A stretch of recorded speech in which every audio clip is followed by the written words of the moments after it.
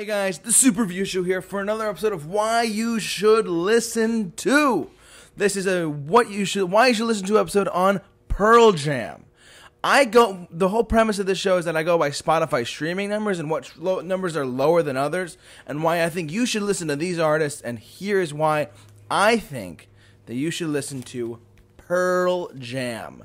This is the only vinyl I have of theirs. Um obviously this is Pearl Jam's 10 um, iconic 90s grunge era masterpiece of an album. One of the best, not the best, but one of the best debut albums ever in all of music history. Um, with songs like Even Flow or Alive, Black, Jeremy. Those are still played consistently today on rock radio.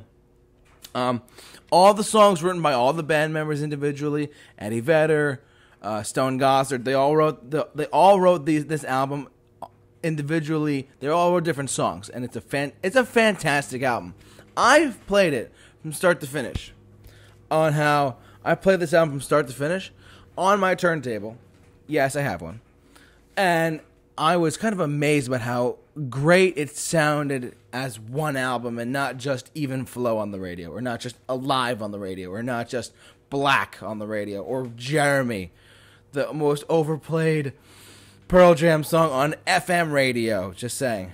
Um, this is a great album. This is a great album from a great band. I know I'm, I'm, talking about the album right now, but this is why you should listen to Pearl Jam, the band.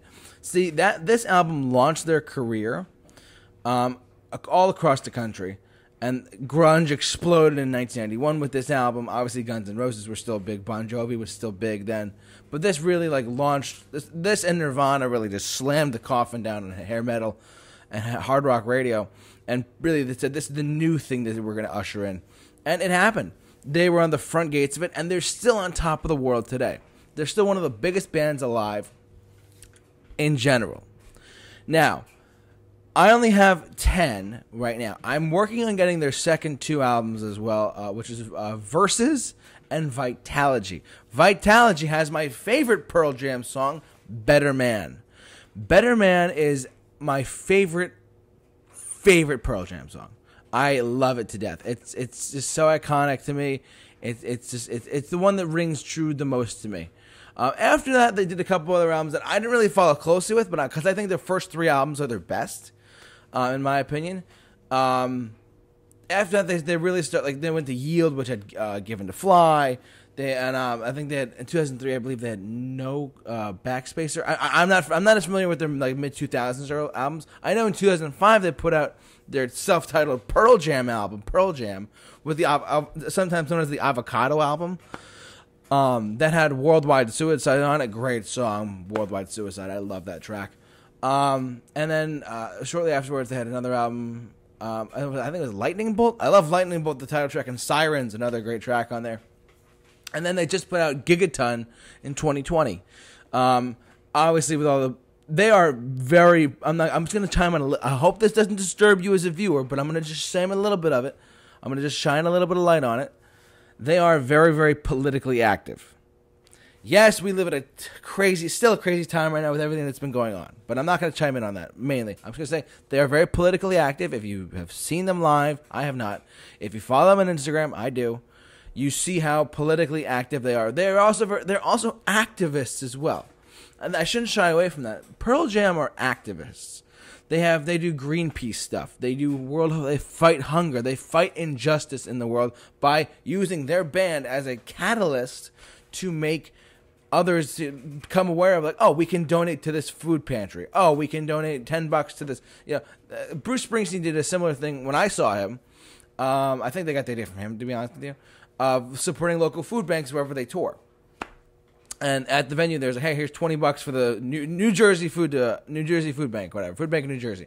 They do stuff out of seattle. They do stuff all over the world to support and help out the planet whether it's human rights or they do um, they do other things like um, save the whales. Like they do Greenpeace stuff. It's crazy how many how many organization, organizations they support as a band. But I want to get back to the music. Their music to me is very, very, very good. I mean, their first album, Ten, is probably the most played songs or album of theirs, to be honest with you. Versus is right up there as well. Vitalogy obviously has Better Man. But once you get past that, it's kind of like a pick and choose thing for me personally. I know the diehard Pearl Jam fans are probably saying, but you didn't mention song A, B, C, and D. Look, I just haven't gotten into Pearl Jam that heavily. I know and I'm aware of Given to Fly. I'm aware of, you know, No Code. I'm aware of, like, Mind Your Manners. I'm aware of stuff like that. I just haven't gotten into it as heavily as you might think I have as a diehard, you know, classic rock, 90s rock, whatever fan. Um, one thing I'm, I'm going to say about Pearl Jam is that a lot of the songs on this album now are being played on classic rock radio. Um, there's a big radio station that I listen to uh, locally out of New York City, and they have an album. They, they're they're New York's classic rock Q 104.3, right? Shout out. They um, I love them. I love. I listen to them whenever I'm down in that area. I listen. Um, to be completely honest, they were playing Pearl Jam the other day. This begs the question: Is '90s rock, and that's a bigger discussion for another another video, but is '90s rock becoming classic rock? Like they're playing Green Day the other day too. So I mean, who's to say that Green Day is now classic rock? Because they're pretty darn old. They're like they hit big in '94. They hit big in '91. So you know, if you if you in a 4.3 starts playing, plug again. Um, all due respect, go ahead. Um, they start playing Nirvana, then I know. Then or Come as You Are, or something like that, or we'll see. I really don't know though. But and they, are playing Tears for Fears the other day too. I'm like, what's going on? You know, uh, it was so cool. Uh, bottom line though, Pearl Jam, a great band. I highly recommend you check them out. Better Man is a classic track um, from them. But if you have not heard their album 10, I highly recommend you listen to the album from start to finish in its entirety. Uh, from once to release, I recommend it because it's a, it's actually a musical experience. These guys are fantastic. And like I said, I haven't seen them live, but I have some family members of mine who have seen them live. And they've said that they're one of the best live bands to go see. Um, even if you look at like Rolling Stone magazine, um, who they follow music news all the time, they've said that Pearl Jam is one of the best to top 10 live acts to go see as I think of 2000 the article came in 2014 uh, they said Pearl Jam was number 8 out of 10 of the best live acts to go see. And when they did their top 50 of like 2014 or 15 they did they came in like number like 18 or something like that or like uh, uh 17 they were pretty high up on the all-time greatest list. Um uh, the, like the, the, Chili Peppers were up there, Foo Fighters were up there, you know, stuff like that. But like they were they were really high up on that list of like the best performance to go see uh, you could possibly see Pearl Jam. So, anyways, um, I think that, but that, those are some reasons why I think you should listen to Pearl Jam. Great band. Eddie Vedder's the man. He's a down to earth, nice guy. He has been around for a long time now, and his his band Pearl Jam. I do recommend you highly check them. I highly recommend you check them out. They're very good. If you have a turntable, great. If you want to stream them on Spotify, great. But those are some reasons why you should listen to Sp- to Pearl Jam, not Spotify.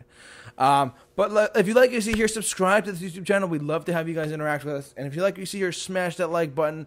Love to see what you guys have to say about Pearl Jam. Leave your comments in the comment section below. Love to hear what you guys have to say. But for all of your why you should listen to videos, keep it locked on this review show. J-Man, off the rock.